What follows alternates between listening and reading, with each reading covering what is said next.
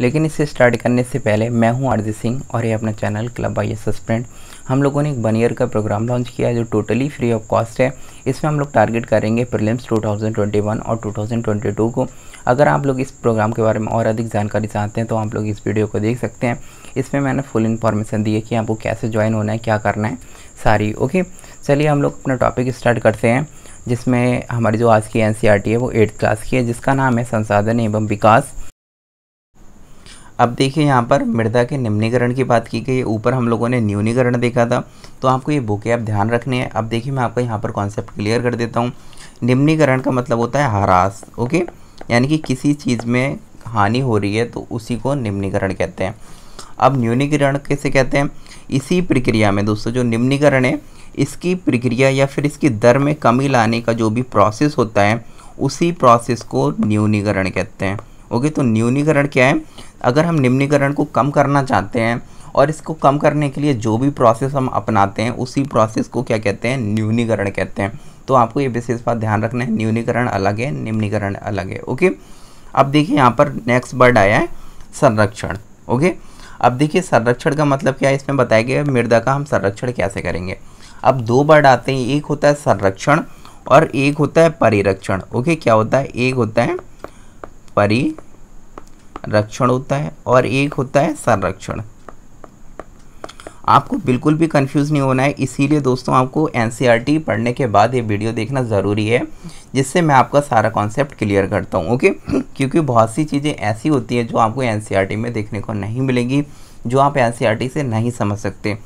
अब परिरक्षण का मतलब होता है प्री कंजर्वेशन भी इसको बोलते हैं परिरक्षण का मतलब होता है यानी कि कोई भी घटना होने से पहले हम उसको दोस्तों संरक्षित कर लें, ओके? जैसे एक्सीडेंट ना हो, इसीलिए हम हेलमेट पहने, यानी कि पहले से हम सुरक्षा करके चल रहे हैं। लेकिन संरक्षण का मतलब होता है दोस्तों, अब देखिए वो चीज़ है, वो घटने लगी है। जब वो घटने लगी है, तब हम उसके बारे में सोचते हैं और उसके लिए काम करते हैं। तो संरक्षण और परिरक्षण में इतना ही अंतर होता है। ये जो परिरक्षण होता है, वो पहले से ही अगर हम कोई उपाय करके रखते हैं जैसे कि कहीं पर पता है कि अब इस मौसम में बाढ़ आने वाली है, ओके? तब इस मौसम में बाढ़ आने वाली है तो पहले से लोग अपने घर ऊँचे बना लें, पहले से भोजन का स्टोर करके ज़्यादा से ज़्यादा रख लें तो ये क्या हुआ? परिरक्षण हो गया। और जो संरक्षण क्या हो गया? संरक्षण बाढ़ बाढ़ आने के बाद जो गवर्नमेंट, दोस्तों, जो कार्यक्रम चलाती है लोगों को बाहर निकालने का कैंप लगाती है, जिससे लोगों के लिए अलग से आवास देती है, खाना का जो खाने की सुविधा होती है, वो सभी प्रदान करती है, वो किसमें आती है? संरक्षण में आती है, ओके? तो इन दोनों में बेसिक डिफरेंस है आपको पता होना चाहिए, वरना आप लोग क्वेश्चन गलत कर देंगे, ओके? अब देखिए, इसमें बात की गई है कि निम्नीकरण के बारे में। तो निम्नीकरण है दोस्तों, यहाँ पर देखिए, फ़र्स्ट वाली लाइन है, बहुत इंपॉर्टेंट है, कि मृदा अपर्दन और छीड़ता मृदा संसाधन के दो प्रमुख खतरे हैं।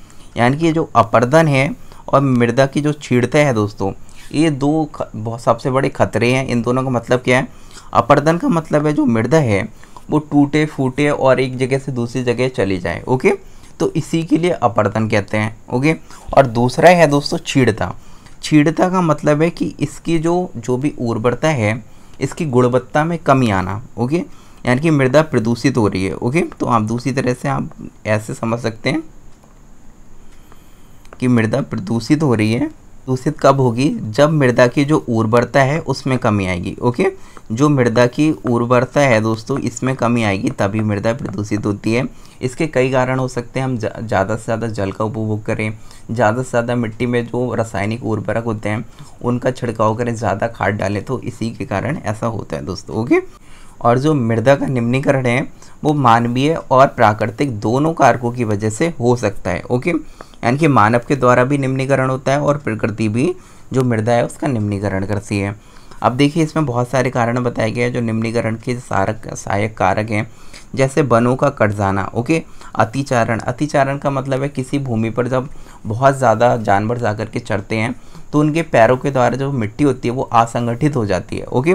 तो जिससे क्या होता है, अगर हवा चलती है या फिर बारिश होती है तो ज़्यादा मात्रा में मृदा होती है, वो एक जगह से दूसरी जगह चली जाती है, उसका इरोजन हो जाता है ओके अब इसी तरह हम अधिक रासायनिकों का यूज़ करें या फिर अधिक जो कीटनाशक हैं, उनका छिड़काव करें तो इसके कारण भी मृदा प्रदूषित हो जाती है। तो ये सभी कारण हैं, जिनके कारण मृदा का निम्नीकरण होता है। इसके अलावा जैसे कि और भी कारक हैं, जैसे कि वर्षा वर्षा जल होता है, उसका अत्यधिक उपयोग करना, यानी कि जल का जो जल होता है, उसका ज़्यादा उपयोग करना भूस्खलन, बाढ़ है, ये भी कहीं ना कहीं मृदा को प्रदूषित करती है ओके तो इनसे हम कैसे संरक्षण कर सकते हैं इन सारी चीज़ों से? वही इसमें बताया गया है। अब देखिए फ़र्स्ट इसमें दिया रखा है मल्च बनाना। या इसको दूसरी भाषा में माल्च भी बोलते हैं, या फिर इसमें इसमें मल्च बताया गया है ओके तो मल्च बनाना क्या होता है? मैं एक एग्ज़ाम्पल के थ्रू आपको समझाता हूँ। जैसे मान लीजिए हम लोग पेड़ों, पेड़ लगाते हैं तो वो किसी पट्टी में लगाते हैं ना, इस तरह से लाइनिंग में हम पेड़ लगा दिए लेकिन बीच में तो एक ऐसी जगह छूट जाती है जहाँ पर कोई भी पेड़ पौधा नहीं होता है। तो क्या होता है, जो ये रीज़न होता है, खाली जगह होती है, यहाँ से बाष्पीकरण की प्रक्रिया ज़्यादा होती है क्योंकि यहाँ पर पेड़ पौधे नहीं होते हैं। इससे जो नमी होती है, वो जा सकती है एटमॉस्फेयर में तो जो भूमि की नमी है, वो कम हो जाएगी ना। और दूसरा क्या हो सकता है, अगर यहाँ पर वायु चलती है तो यहाँ से मिट्टी उड़ती रहेगी। अगर बारिश होगी तो यहाँ की जो मिट्टी होगी, वो जा कर के बह कर के दूसरी जगह चली जाएगी ओके तो ऐसी समस्याओं से बचने के लिए क्या करते हैं, जो रिक्त स्थान होता है, इसमें किसी भी तरह के जो जैव पदार्थ होते हैं, उन्हें लगा देते हैं। जैसे कि प्रवाल हो गया या फिर छोटी छोटी घास हो गई, उन चीज़ों को लगा देते हैं, जिससे जो ज़मीन होती है, उसमें नमी बनी रहती है, नंबर एक। और नंबर दो, अगर बारिश होती है तो मिट्टी होती है, उसका कम कटाव होता है ओके यानी कि इरोजन की प्रक्रिया हो जाती है, वो कम हो जाती है। तो इसी को मल्च बनाना कहते हैं और इससे बहुत सारे फ़ायदे भी होते हैं, जैसे कि आपको ज़्यादा सिंचाई नहीं करनी पड़ेगी क्योंकि मृदा में नमी बनी रहेगी। और आपका जो भी, जैसे कि अगर आपने कोई भी उर्वरक पदार्थ डाले हैं तो बारिश के समय में वो बह करके ज़्यादा नहीं जाएँगे, ओके? अब देखिए हम लोग अगली देखते हैं। अब देखिए बेदिका फ़ार्मिंग। इसमें बताया गया है, बेदिका फार्म के बारे में बताया गया कि बेदिका फार्म क्या होता है। वेदिका के द्वारा जो कृषि की जाती है, वो पहाड़ी क्षेत्र पर की जाती है। ओके तो आपको ये स्टेटमेंट बहुत ही विशेष बात ध्यान रखनी है कि वेदिका कृषि होती है, वो जो ढाल वाले क्षेत्र होते हैं या पहाड़ी क्षेत्र होते हैं, उन पर की जाती है, ओके?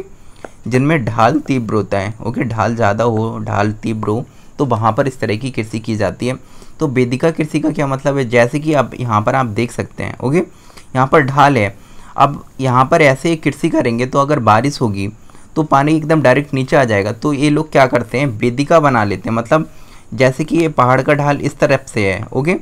तो क्या करेंगे ये लोग? इसके जो इस तरफ़ से, ऐसे 90 डिग्री पर इस तरह से आप यहाँ पर देख सकते हैं। इस तरह से वेदिका बना लेंगे, ओके? इस तरह से वेदिका बना लेंगे, ओके? अब इन वेदिकाओं पर ही वो लोग पेड़ पौधे जो भी उनको कृषि करनी होगी, वो कर लेंगे। जिससे क्या होगा? अब मान लीजिए यहाँ पर बारिश होती है, ओके? तो बारिश होती है तो पानी ठहर के जाएगा, जिससे कटान कम होगा, ओके? और नंबर दो, अगर इन्हें सिंचाई भी करनी होगी, अगर इन्हें सिंचाई करनी होगी और ढाल तीव्र हुआ ऐसा तो पानी एकदम डायरेक्ट नीचे आ जाएगा ना? लेकिन इस तरह से ये ब्लॉकेज लगे हुए हैं तो पानी क्या होगा? इन्हें हर जगह बराबर मात्रा में मिल पाएगा। तो एक क्या हुआ है? कम से कम ये रिसोर्स का यूज़ करके अधिक से अधिक उत्पादन कर सकते हैं। और नंबर दो, इन लोगों के लिए भी आसानी भी होती है और साथ में बारिश के समय जो मिट्टी होता है, उसका कटान भी कम होता है ओके तो इसीलिए बेदिका फ़ार्मिंग की जाती है जहाँ पर तीव्र ढाल होते हैं।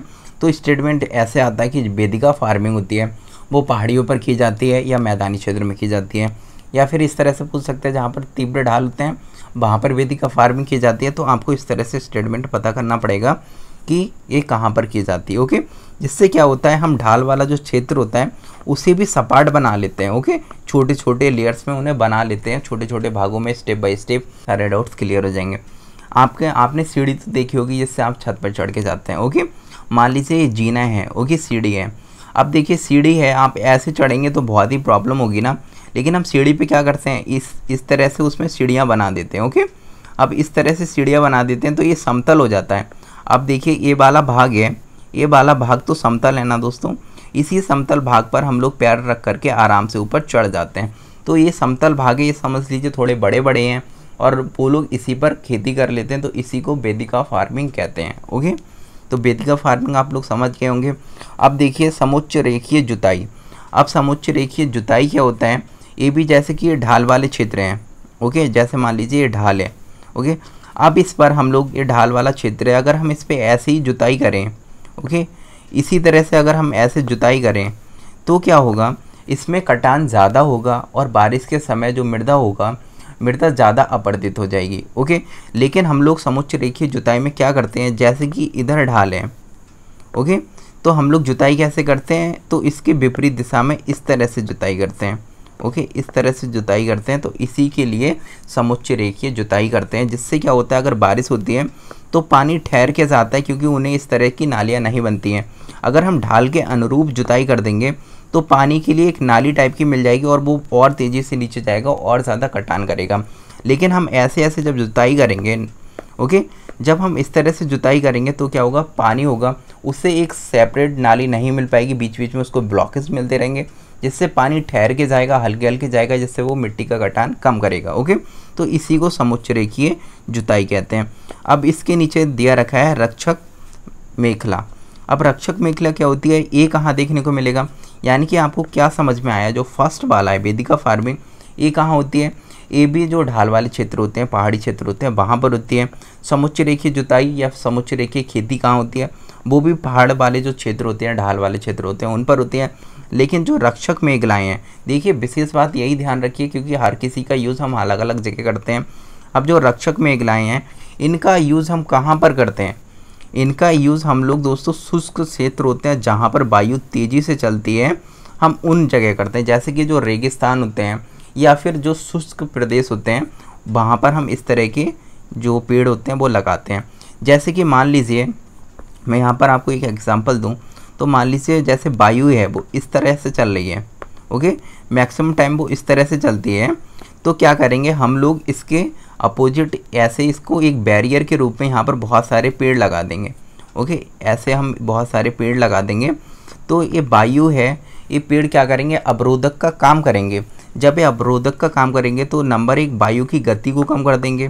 क्या करेंगे? वायु की गति को कम कर देंगे। और जो सतह पर वायु का वेग होगा ना, वो बहुत कम हो जाएगा। सतह पर वायु का वेग होगा, वो बहुत ही कम हो जाएगा, जिससे जो पवन होगी, उसका मिट्टी से घर्षण कम होगा, संपर्क कम होगा, जिससे वो अधिक से अधिक मिट्टी को अपने साथ उड़ाकर नहीं ले जा पाएगा। और दूसरा क्या होगा साथ में? ये जब पवन होगी, जब इन पेड़ों से टकराएगी, ओके जब इन पेड़ों से टकराएगी तो साथ में जो भी मृदा का जो अपर्दन करके अपने साथ ला रही होगी, वो इन पेड़ों से टकराने के बाद वो यहाँ पर ये डिपॉजिट कर देगी ओके तो नंबर एक तो हुआ ये अपर्दन को रोक भी रही है ओके जो रक्षक मेघलाएँ हैं, वो अपर्दन को रोक भी रही हैं। और दूसरा, मृदा का जो संरक्षण कहीं से क्या कहते हैं, निम्नीकरण हो चुका है, उसका भी संरक्षण कर रही हैं ओके उनको भी ला करके मृदा को रोक लेती हैं और एक जगह पर डिपॉजिट कर देती हैं। अब देखिए, समुच्च रेखीय रोधिकाएँ। अब देखिए समुच्च रेखीय रोधिकाएँ होती हैं।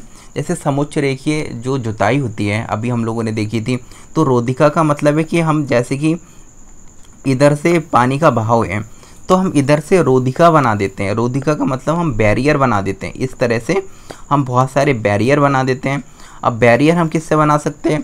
बैरियर हम दोस्तों पत्थरों से बना सकते हैं, घास के बना सकते हैं, मृदा का बना सकते हैं। अब इस तरह से हम बैरियर बना देंगे। तो क्या होगा दोस्तों, यहाँ पर जो जल होगा, वो हल्के हल्के जाएगा ओके कैसे जाएगा? हल्के हल्के जाएगा। और नंबर दो, हम इन जगह पर पानी का भी स्टोरेज कर सकते हैं, जिससे हम इसका बाद में यूज़ कर सकते हैं। तो समुच्च रेखी का मतलब है कि हम इस तरह से बैरियर बना देंगे, और जुताई का मतलब है हम इन समुच्च रेखा के अनुरूप जुताई करेंगे। तो उसे समुच्च रेखी जुताई कर देंगे, ओके, जुताई कह देंगे। लेकिन हम समुच्च रेखा ऐसे बना देंगे बैरियर्स बना देंगे तो उसे तो उसे समुच्च रेखाएँ या समुच्च रोधिकाएँ बोल देंगे, ओके। अब देखिए, यहाँ पर बताया गया जैसे कि एक हमने टब में, हमने ऐसी मृदा ली जिसमें वनस्पति नहीं है, यानी कि पेड़ पौधे नहीं हैं, ओके। अब दूसरा हमने टब लिया जिसमें हमने पेड़ पौधे यानी कि कुछ बीज डाल दिए और उसमें कुछ घास जमाई। तो हमने दोनों में पानी डाला। ये देखिए, इसमें हमने पानी डाला और इसमें पानी डाला।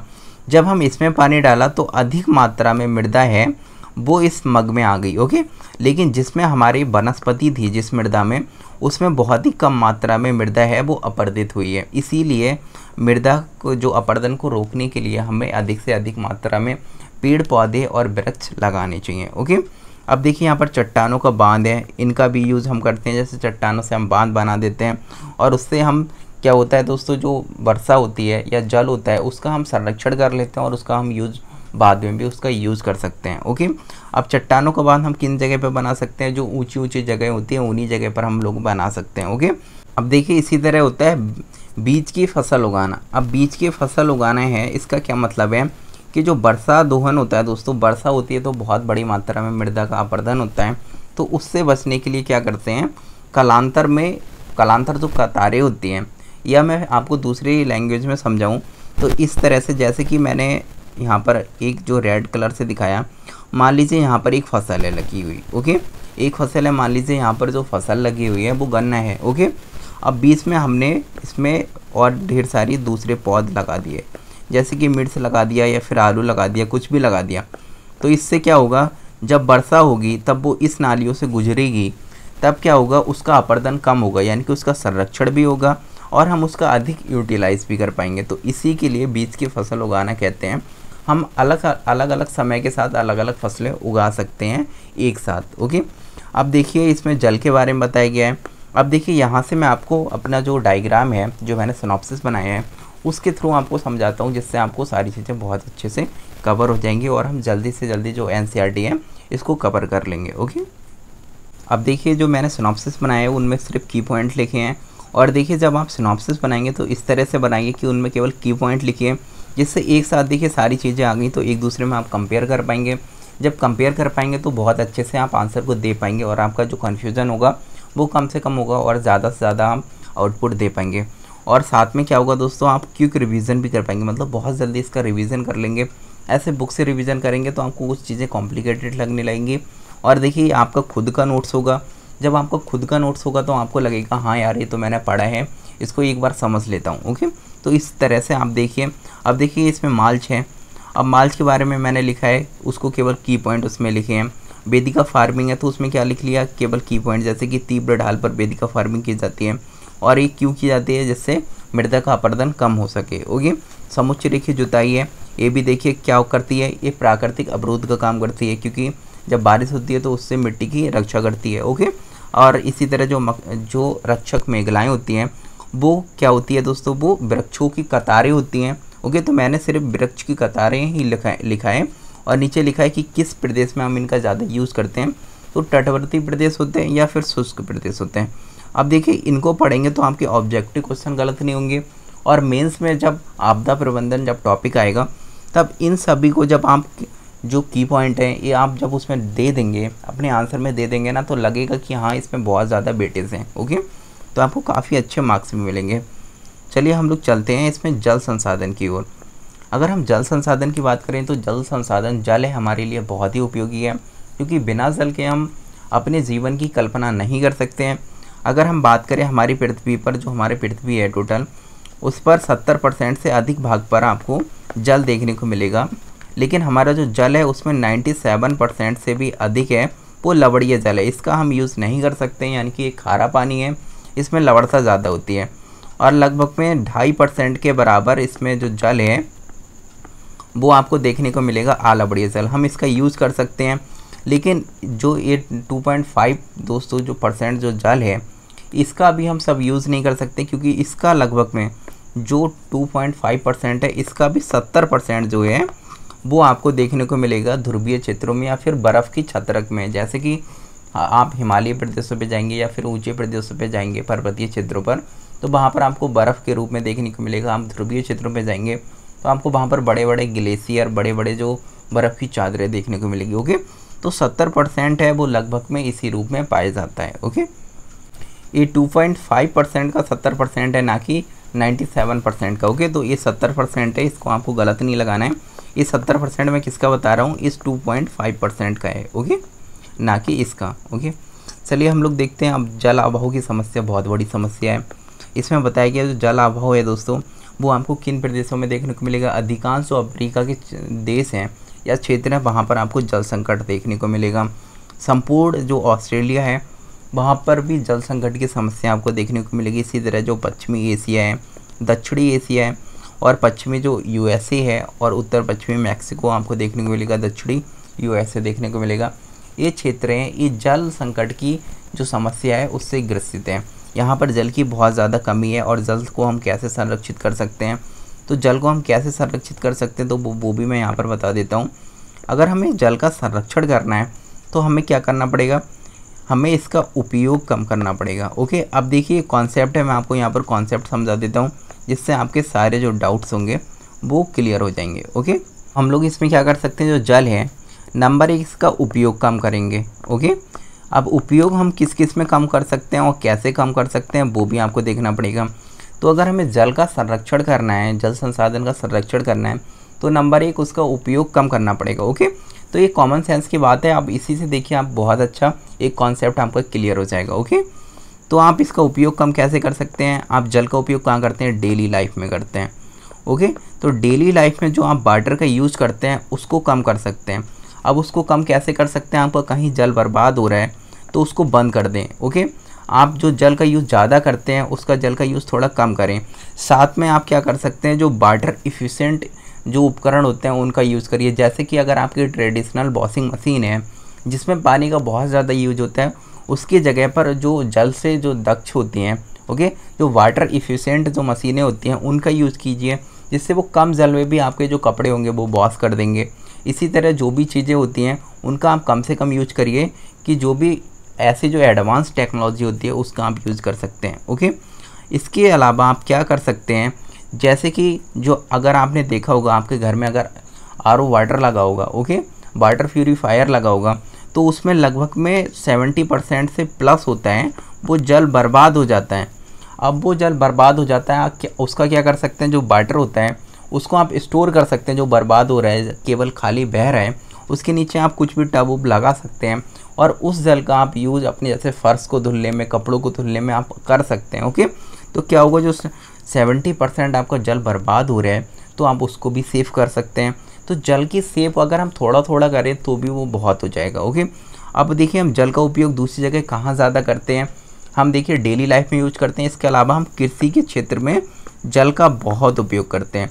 अब कृषि के क्षेत्र में हम जल का उपयोग बहुत करते हैं तो इसका हम संरक्षण कैसे कर सकते हैं? तो हमें इसके लिए जो वैज्ञानिक सिंचाई है, उधर जाना पड़ेगा, ओके?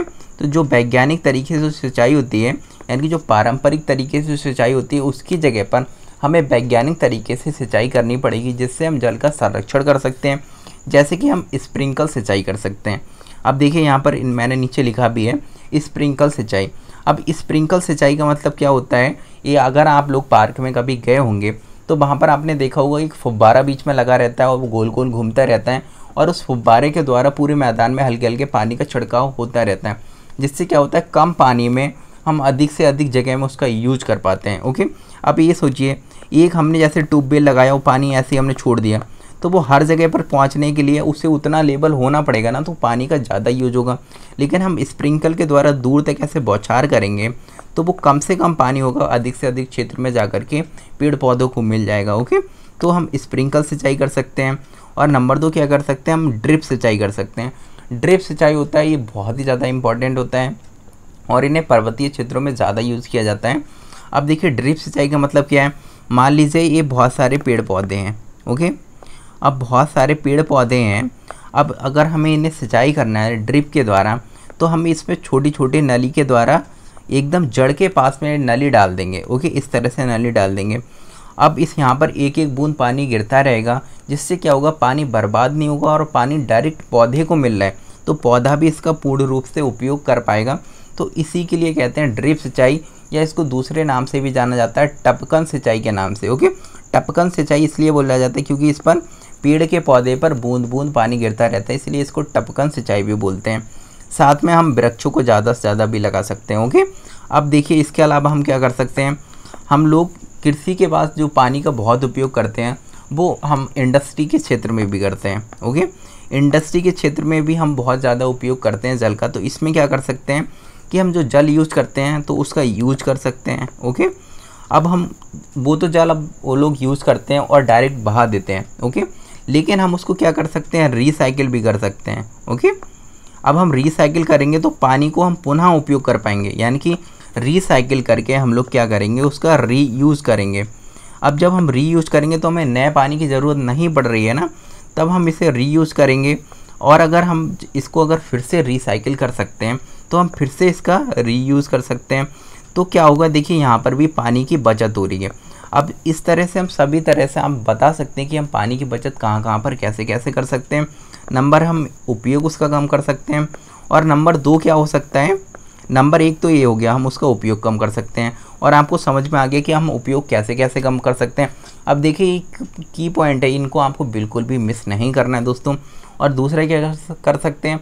हम लोग पानी का ज़्यादा से ज़्यादा मात्रा में स्टोरेज कर सकते हैं ओके जैसे जो वर्षा जल है वर्षा जल का हम संग्रहण कर सकते हैं। जब वर्षा जल को हम स्टोर कर लेंगे, तब हम इसका यूज़ जब हमें ज़रूरत होगी, तब हम इसका यूज़ कर लेंगे। तो यानी कि हमें जो वाटर लेवल है, जो हमें अंदर से पानी निकालना है ओके ग्राउंड वाटर है, उसका हम यूज़ कम करेंगे, जिससे भी पानी का संरक्षण होगा ओके इसके अलावा क्या कर सकते हैं हम लोग? इसके अलावा हम लोग कर सकते हैं कि वृक्षों को अधिक से अधिक लगा सकते हैं, ओके? यानी कि वृक्षारोपण हम लोग कर सकते हैं। अगर हम वृक्षारोपण करेंगे, जिससे जल में हम लोग जानते हैं, अगर हम ज़्यादा से ज़्यादा वृक्ष लगाएँगे तो वहाँ पर पानी होता है, वो उसका संरक्षण होता है, ओके? इसके अलावा हम क्या कर सकते हैं, जो जल है दोस्तों, जो आल अबड़िया जल है, ओके? जो आल अबड़िया जल है, जिसका हम यूज़ नहीं कर सकते, इसको भी यूज़ करने के लिए ऐसी टेक्नोलॉजी विकसित करें, जिससे इसे भी हम शुद्ध करें और इसका भी यूज़ कर पाएँ। क्योंकि 97 परसेंट से भी अधिक मात्रा में आल अबड़िया जल है। अगर हमने इसका यूज़ करना सीख लिया, इसको अगर हमने शुद्ध कर दिया तो हमें पानी की कभी भी कमी नहीं महसूस होगी, ओके? और इसके अलावा हम क्या कर सकते हैं, ऐसी अधिक से अधिक जो मशीनें हैं, जो वाटर सेविंग मशीनें हैं, उनका हमें यूज़ करना चाहिए, उन्हें डेवलप करना चाहिए तो ये सारी चीज़ें हो सकती हैं, जिन्हें आप बता सकते हैं। तो देखिए, जल संकट को आप कैसे दूर कर सकते हैं, ये सारी, अगर आप इन पर एक एक पैराग्राफ भी लिखेंगे तो आपके पाँच से छः पेज भर जाएँगे, ओके? अब डेली लाइफ में आप कैसे बार्डर की सेविंग कर सकते हैं? तो इसके लिए बहुत सारी चीज़ें हो सकती हैं, आप कैसे कर सकते हैं, आप खुद भी बता सकते हैं। तो ये क्या हुआ? एक अप्रोच हुआ। नंबर एक आप यूज़ कम करेंगे नंबर दो आप वर्षा का, जल का स्टोरेज कर लेंगे नंबर तीन आप क्या कर सकते हैं? वृक्षारोपण कर सकते हैं, नंबर चार क्या कर सकते हैं आप लोग? ऐसे टेक्नोलॉजी को विकसित करने को बोलेंगे जिससे पानी की ज़्यादा से ज़्यादा सेविंग हो सके। अब इन्हीं सब टॉपिक के, जो सब टॉपिक हैं, उन पर भी एक एक हेडिंग लिखेंगे तो आपके छः से सात पेज भर जाएँगे ओके तो आपको जो अप्रोच है, ये एक बार ध्यान रह गया तो आपको क्या होगा दोस्तों? आपको बहुत अच्छे से मार्क्स भी गेन होंगे और सारे की पॉइंट अगर आप लिखेंगे तो आपके मार्क्स भी अच्छे आएँगे, साथ में आपका जो आंसर होगा वो काफ़ी खूबसूरत लगेगा देखने में ओके अब देखिए कृषि है इसकी वैज्ञानिक पद्धति है ओके अब इस पर कम से कम आप तीन से चार पेज तो इसी पर लिख सकते हैं एग्रीकल्चर पे कि हम वाटर की सेविंग एग्रीकल्चर सेक्टर में कैसे कर सकते हैं, किस तरह से कर सकते हैं, किन चीज़ों का हम यूज़ कर सकते हैं, जैसे हम बाँध बना सकते हैं ओके नहरों के द्वारा हम सिंचाई कर सकते हैं और जो सिंचाई करें वो हमारी वैज्ञानिक पद्धति होनी चाहिए। जितनी सारी पद्धतियाँ हैं उनके बारे में बता सकते हैं। तो अगर हम एग्रीकल्चर को ही ले लें, एग्रीकल्चर में ही आप लगभग में पाँच से छः पेज लिख सकते हैं और अगर इन सब पर अगर थोड़ा थोड़ा पैराग्राफ लिखेंगे तब भी पाँच छः पेज हो जाएगा, ओके? तो इसी तरह से आपको पढ़ाई करनी है, जिससे कोई भी आपको प्रॉब्लम नहीं होने वाली, ओके? अब देखिए यहाँ पर जो पशुओं के बारे में बताया गया है। आपने देखा होगा कि पहले गिद्ध बहुत ज़्यादा मात्रा में पाए जाते थे, लेकिन आज आपको गिद्ध देखने को नहीं मिलेंगे और आजकल की जो नई जनरेशन होगी, शायद वो गिद्धों को जानती भी ना हो ओके अब देखिए जो गिद्ध हैं, उनकी मृत्यु कैसे हुई, यानी कि वो इतनी बड़ी तादाद में इंडिया में पाए जाते थे, अब वो पूरे संसार से कैसे लुप्त हो गए, क्यों लुप्त हो गए? तो आप लोगों ने इसके बारे में अगर सुना होगा तो बहुत सारी ऐसी कहानियाँ सुनी होंगी कि कुछ लोगों ने देशों के, कुछ देश ऐसे थे जिन्होंने मशीनों के द्वारा एक बेब भेजी और उससे सारे जो गिद्ध थे उनको अपने इधर अट्रैक्ट कर लिया। लेकिन ऐसा कुछ नहीं है। इनकी संख्या मरने के कारण ही कम हुई है ओके तो आज ये आपको बहुत ही कम मात्रा में देखने को मिलेंगे और बहुत ही कम जगह पर रियर केस में आपको देखने को मिलेंगे। तो इनकी जो मृत्यु है, वो कैसे हुई? जो दोस्तों पशु होते हैं, गिद्ध क्या होता है? सबसे पहले आपको पता करना पड़ेगा। जो गिद्ध होते हैं दोस्तों, ये जो मरे हुए पशु होते हैं, उनको खाते हैं ओके उनको खाते हैं तो क्या करते हैं दोस्तों? जानवर को जब खाएँगे अब जानवर के अंदर कोई बीमारी है या फिर ऐसी कोई चीज़ है, अगर वो इनको इफ़ेक्ट करेगी तो क्या करेंगे? ये भी बीमार हो जाएँगे ना। तो जब जो पशु होते थे, वो बीमार होते थे, उनके उपचार के लिए हम लोग काफ़ी मात्रा में एस्प्रीन और डिक्लोफिनेक्स, इस तरह की जो इबोप्रोफिन थे, इस तरह की दवाइयों का हम इंजेक्शन का यूज़ करते थे। और ये सारी थी, ये सारी जब इस गिद्ध के अंदर जाती थी तो इसकी जो किडनी होती थी, किडनी को इफ़ेक्ट करती थी। अब ये गिद्ध की किडनी ख़राब होने लगी। ओके, समय के साथ बहुत ज़्यादा मात्रा में जब इनकी किडनी ख़राब होने लगी तो ये इन गिद्धों की मृत्यु होने लगी। तो जब इनकी संख्या में कमी आई, तब बाद में हम लोगों ने इस पर रिसर्च किया कि गिद्ध हैं, इनकी संख्या क्यों कम होने लगी। तब पता चला कि इन दवाइयों के कारण इनकी संख्या में कमी आई है। इसीलिए गवर्नमेंट ने इस पर रोक लगा दी। अब जो ये दवाइयाँ हैं, इनका यूज़ कोई भी नहीं कर सकता है। गवर्नमेंट ने इसको बैन कर दिया है, ओके?